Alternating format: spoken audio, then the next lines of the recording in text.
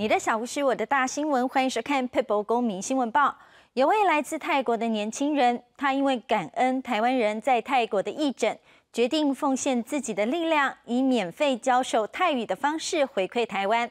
几年的时间下来，造福了不少想要学习泰语的民众。加了嘉义基督教医院的义诊，医生看诊啊，就翻译，然后过程当中，我光看到台湾人很有爱心。一直看，一直看，有时候吃饭也啊没时间去吃饭。这些过程当中，我看到啊也很感动，台湾人有这样很有爱心的去帮助异国人。所以我后来就想说，我可以做一些为台湾啊有帮助的，我能做的就是教泰文。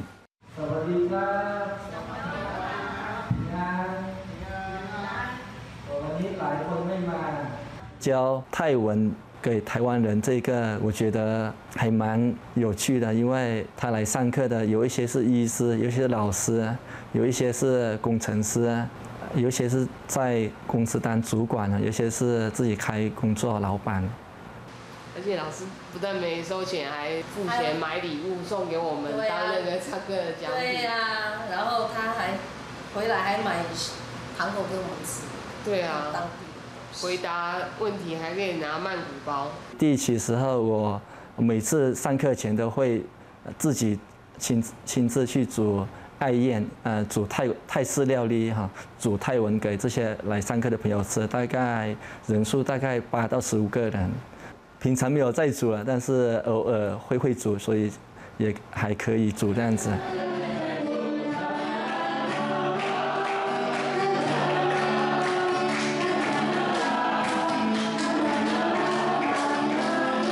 教泰文课呢，认识了很多朋友啊，所以我觉得蛮值的。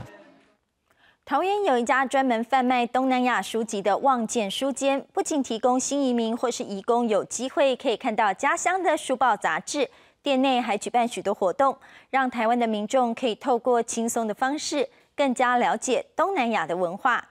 身在桃园后站小巷里的书间，书架上陈列漫画书、杂志、小说。